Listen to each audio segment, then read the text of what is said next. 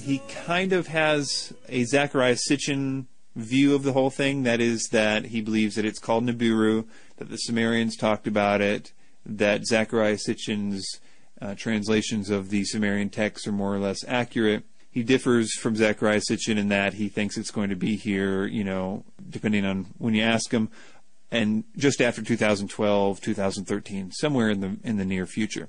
So that's kind of where he's at from it. With it, also he differs in Sitchin in that he thinks it is a binary star system, not a planet. So he thinks it's a brown or red dwarf star.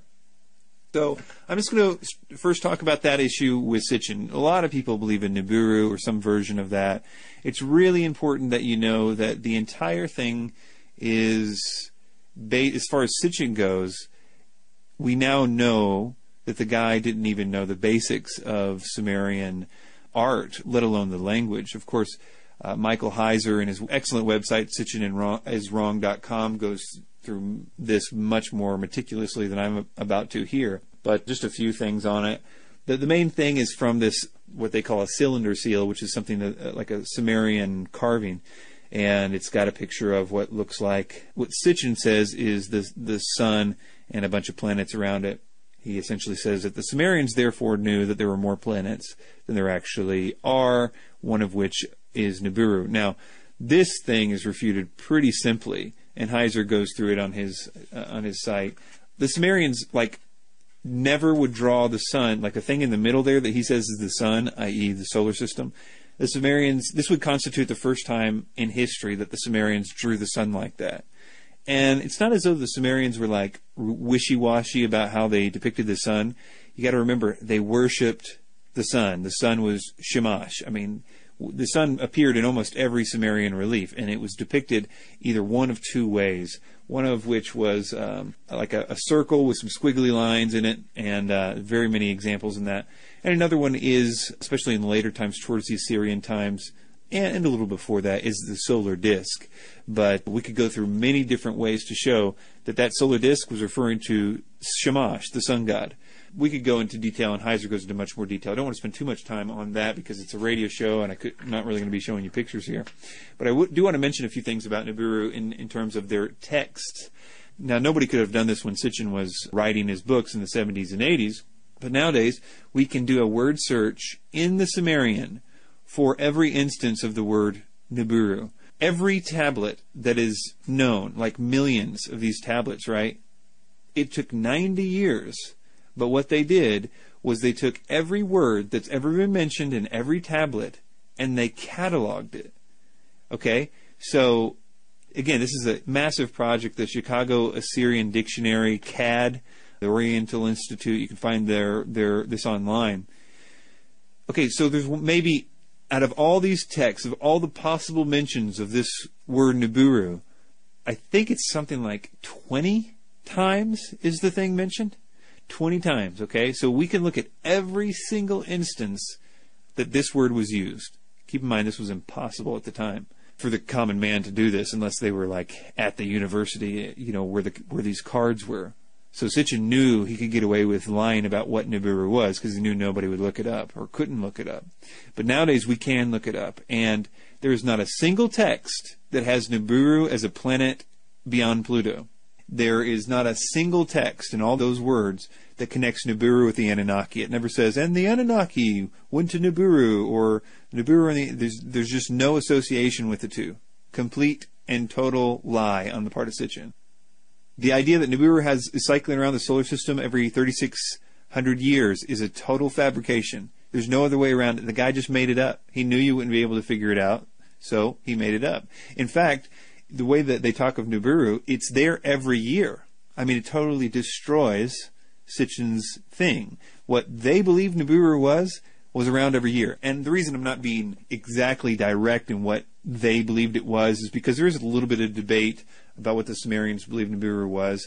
The reason is is because they refer to it pretty much for as three different things. Like, but to, I don't want to confuse you because you're going to think, oh, well, the confusion is is because it's a, a planet from the whatever, whatever. But it, the confusion has nothing to do with it possibly being, you know, what Sitchin is saying. What I mean is that almost every instance they call it Jupiter. It's unambiguously Marduk. It's Jupiter.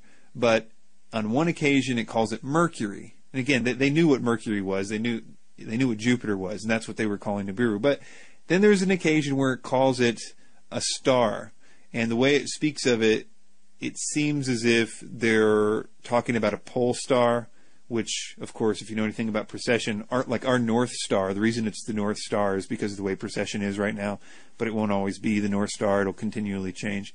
So Heiser takes the view that it is probably a, a pole star because of the way they speak of it. And like I said, it's there every year but I don't want to go into too much detail because it's really just unnecessary. What you need to know is that it has nothing to do with 3,600 years, has nothing to do with the Anunnaki. It never speaks of it as like a planet that's beyond Pluto. I mean, at the very least, it's what they knew to be Jupiter and what they knew to be Mercury. So it's a complete fa- fabrication on that stuff, and you can look at Heiser's paper on that for much more detailed information about what I just talked about. Okay, so the idea, of course, about Planet X, and this depends on who you're hearing it from. Marshall Masters says that by 2012, we're going to see two suns in the sky. So he thinks this is a binary star system. Now, one of the things that the guy always says is that NASA believes 80% of the universe is binary stars. And that's true. I mean, that's like the one true thing the guy says is, yeah, there there are mostly binary star systems. Binary star systems are essentially two suns per solar system. Sometimes they have their own planets for each star and stuff like that, but there's lots of different variations. And yeah, there we are unique if we're not, but not that unique. Like 20% don't have binary star, star systems. So it's not like we're really unique, but yeah, we are a little unique if we don't have a binary star. But and NASA and other scientists, they still haven't discounted the possibility that we're part of a binary star system. But the difference between everybody else in Marshall Masters or anybody else that, that kind of believes this way is that when they speak of us possibly being a binary star system, they're speaking of it being anywhere from 25,000 to 95,000 AU, that's Earth to Sun distances, away from from us. I mean, that's like, I mean, an amazingly far distance from us. And of course, it would have to be that far distance for it to go unnoticed. And that brings me to my next point.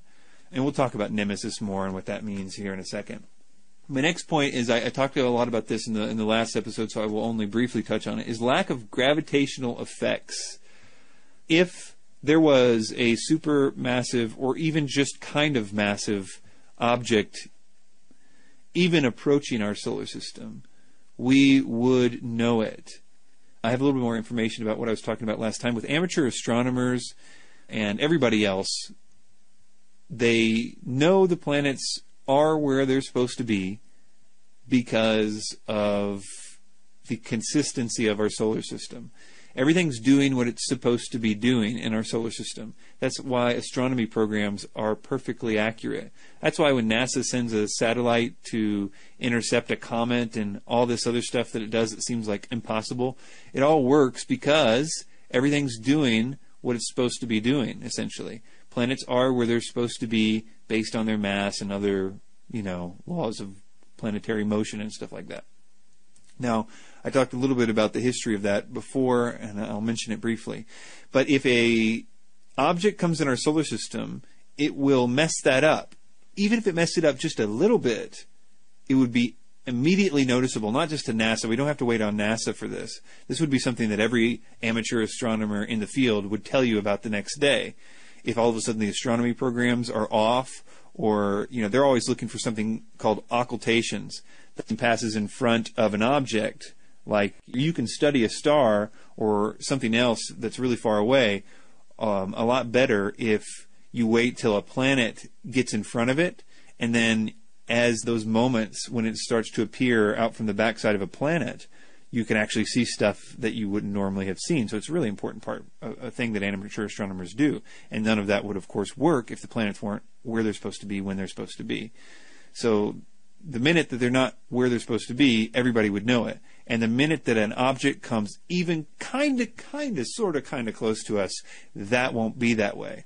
Mike Brown, the guy who um, was instrumental in demoting Pluto as a planet, said the following There are very good limits as to what you can hide at what distances in the solar system and not detect their gravity.